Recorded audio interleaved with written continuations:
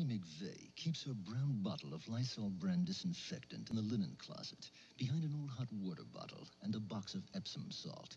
Too bad, because every day Lysol could be disinfecting and deodorizing the bathroom bowl. Could be cutting down on germs in her wash, even in cold water, and killing household germs, including germs that cause odors. Where's your brown bottle of Lysol? The baby's room's where I always used it. Find it